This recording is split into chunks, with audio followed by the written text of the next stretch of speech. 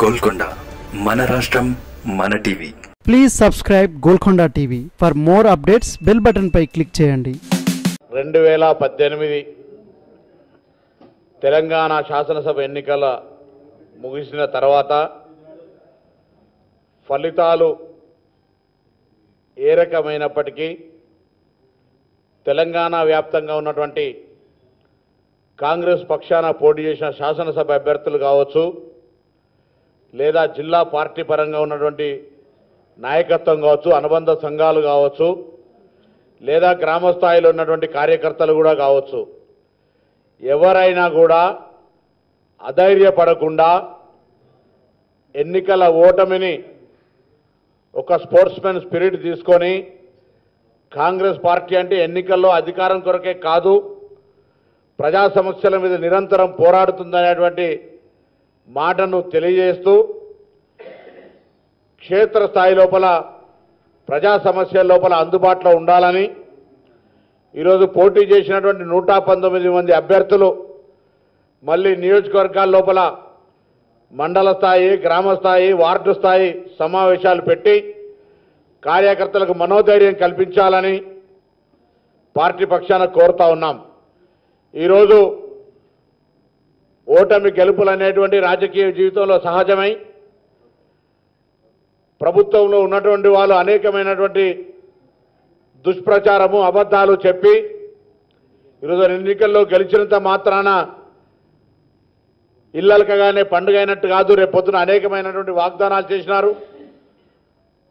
ప్రజలకు ఆ వాగ్దానాలన్నీ అమలు చేయించే అంశం లోపల చాలా బాధ్యత గల పార్టీగా రాజకీయ పార్టీగా ప్రతిపక్ష పార్టీగా క్షేత్రస్థాయిలో వ్యవహరించాల్సిన బాధ్యత ప్రతి కాంగ్రెస్ పార్టీ కార్యకర్త మీద ఉందని ఆ అంశం లోపల ఎటువంటి అధైర్యపడకుండా ముందుకు పోవాలని కోరుతా ఉన్నాం. అదేవిధంగా అధికార యాంత్రాంగానికి అది పోలీసు కావచ్చు రెవెన్యూ కావచ్చు లేదా ఇతరత్ర ఏ అధికార యాంత్రాంగమైనా వివక్షపూరితంగా కాకుండా పక్షపాత వైఖరితో కాకుండా నిజమైనటువంటి లబ్ధిదారులకు ప్రభుత్వ కార్యక్రమాలు అందేలా ఉండాలి తప్ప టీఆర్ఎస్ పార్టీలో ఉంటే మాత్రమే ఫలాలు అందుతాయి లేదా పథకాలు లబ్ధి పొందుతారు అనేటువంటి మాట రాకుండా ఖచ్చితంగా వ్యవహారం చేయాలని మేము ముందుగా విజ్ఞప్తి చేస్తూ ఉన్నాం. దాని తర్వాత మా కార్యకర్తలను కూడా అటువంటి తేడా ఎక్కడైనా వివక్షపూరితంగా కనబడ్డట్టయితే మీ స్థానిక నాయకత్వము జిల్లా నాయకత్వం లేదా రాష్ట్ర నాయకత్వం దృష్టికి తీసుకొచ్చినట్టయితే దాన్ని తప్పకుండా రాజకీయ పోరాటం చేయబడుతుందనే మాట కూడా ఈ సందర్భంగా మనం చేస్తూ ఉన్నాం. కాబట్టి కార్యకర్తలుగా ఎక్కడ అధైర్యపడే అవసరంలే ఈరోజు గెలిచినటువంటి పరిస్థితుల్లో వాళ్ళేదో గొప్పగా పండుగ చేసుకునేదో కారు జోరుకు మనం బేజారు కావాల్సిన అవసరంలే దానికి కూడా బ్రేకులు ఫెయిల్ అవుతాయి దానికి కూడా రిపేర్ షాప్ పోవాల్సి వస్తుంది ఒక రోజు వస్తుంది తప్పకుండా పని జరుగుతుంది. కానీ అప్పటిదాకా మనం ఏం కూడా బేజారు అయ్యేటువంటి అవసరం లేదనే మాట చెప్తా ఉన్నాను దాని తర్వాత ముందటి నుంచి చెప్తాను కరీంనగర్కు అమిత్ షా పర్యటన ప్రారంభమైనప్పటి నుంచి. మీకు వంద మంది అభ్యర్థులు దొరకరు అని చెప్పినాం వంద మంది అభ్యర్థులు దొరకలే. ఇవాళ నూట ఐదు నూట పంతొమ్మిదిలో నూట ఐదు మందికి డిపాజిట్లు రాలే. నేను మళ్ళొక్కసారి డిమాండ్ చేస్తా ఉన్నా ఈ తెలంగాణ రాష్ట్ర సమితి తోక పార్టీగా ఉండే కంటే మీ రాష్ట్ర కార్యాలయానికి తాళం వేసుకోమని ఆనాడు కూడా అడిగినా మళ్ళీ అడుగుతా ఉన్నా. నూట ఐదు సీట్ల డిపాజిట్ రాని మీరు రేపొద్దున ఏ ముఖం పెట్టుకొని ఈ తెలంగాణ రాష్ట్రంలో పదిహేడు లోక్సభ స్థానాలకు పోటీ చేస్తారు. ఇలా మీ ఆత్మాభిమానాన్ని నమ్ముకొని తొత్తులుగా మారి టీఆర్ఎస్ పార్టీ అక్రమాలను ఎక్కడ కూడా మాట్లాడని పరిస్థితుల్లో టీఆర్ఎస్కు మీ అభ్యర్థులుగా వాళ్ళకు సరెండర్ అయినారా? లేదా మీ బలం ఇదేనా? మీరే రివ్యూ చేసుకోమని చెప్పి కోరుతా ఉన్నా. నరేంద్ర మోడీ గారు చంద్రశేఖరరావు గారికి మద్దతు. అమిత్ షా చంద్రశేఖరరావు గారికి మద్దతు. లక్ష్మణ్ వచ్చి ఇక్కడ యాత్ర చేస్తాడు. ఏం సాధించిండ్రు? కనీసం ఒకరికన్నా నలుగురికన్నా ముఖ్య నాయకులకు కూడా డిపాజిట్ రాకపోతే అది కూడా ఇవాళ ఒకసారి మీరు గమనించవలసిన అవసరం ఉన్నది. నేను మళ్ళీ కూడా కోరుతాను ఇలా తెలంగాణ బీజేపీ టీఆర్ఎస్ పార్టీ తోక పార్టీగా బోర్డన్న పెట్టుకోండి. లేకపోతే ఆఫీస్ తాళం వేసుకొని వాళ్ళకు చెక్క భజన చేసే ప్రయత్నం చేయండి. ఇలా నరేంద్ర మోడీ గారు లేకపోతే ఇక రాష్ట్ర నాయకత్వం పెద్ద పెద్ద గొప్ప మాటలు మాట్లాడినారు నేను ఒక ఉదాహరణ చెప్తా. కరీంనగర్లో ఉత్తరప్రదేశ్ ముఖ్యమంత్రి ప్రోగ్రాం ఉండే. సాక్షాత్తు బీజేపీ క్యాండిడేట్ మధ్యాహ్నం చెప్పిండు మాకు ప్రోగ్రాం అనుమతిస్తలేరని. రాత్రి వరకు ప్రోగ్రాం అనుమతి ఇచ్చారు తెల్లారి ప్రోగ్రాం అయింది. ఎందుకు? అక్కడ ఉండే బట్టబడి మత వైషమ్యాలను రెచ్చగొట్టడానికి. ఈ విధంగా టీఆర్ఎస్ పార్టీ బీజేపీ కలిసి ఎవరికి ఓటేసిన ఒకటే అన్నం ఇవాళ ఆ మాట స్పష్టంగా కనబడతా ఉంది. నేను అడుగుతాను రేపు పొద్దున బీజేపీ లోక్సభ ఎన్నికల మీ స్టాండ్ ఏమిది? పదిహేడు లోక్సభ స్థానాల్లో మీకు వేలు కూడా ఓట్లు రాలి. వేల వేల సంఖ్యలో కూడా ఓట్లు రాలేదు పదివేలు ఇరవై వేలు కూడా రానటువంటి పరిస్థితి.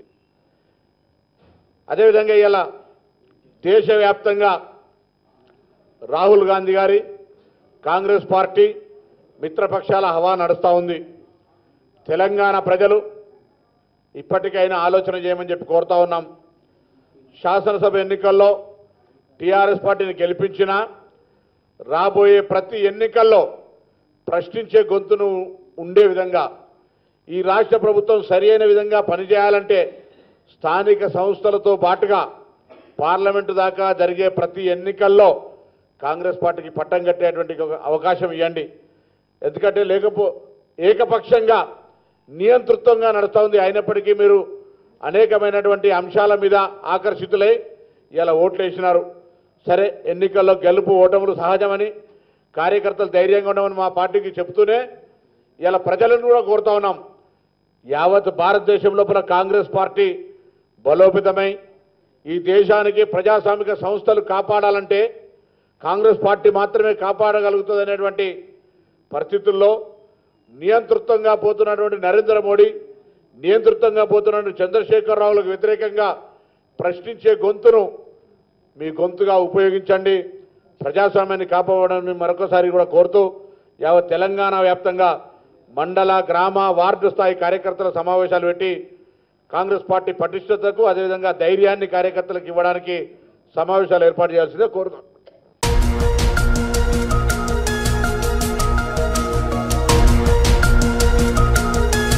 సత్యాలు చెప్పడానికి సాహసం కావాలి. నిజాలు చెప్పే పత్రికలు రావాలి. నిజం మా నైజం. మెట్రో పక్క తెలంగాణ దినపత్రిక. హలో ఏవండయ్ మన గోల్కొండ టీవీని సబ్స్క్రైబ్ చేశారా? ఇంకా చేయలేదా? అయితే వెంటనే చేయండి. అన్ని టీవీలు ఎందుకండి? ఒక్క గోల్కొండ టీవీని సబ్స్క్రైబ్ చేస్తే చాలు. రాజకీయ ఎత్తుగడలను ఎప్పటికప్పుడు చూడవచ్చు. మర్చిపోకండి. పక్కనే ఉన్న బెల్ బటన్ని నొక్కితే నోటిఫికేషన్లు మిమ్మల్ని అలర్ట్ చేస్తాయి. మర్చిపోకుండా ఇప్పుడే చేయండి. బాయ్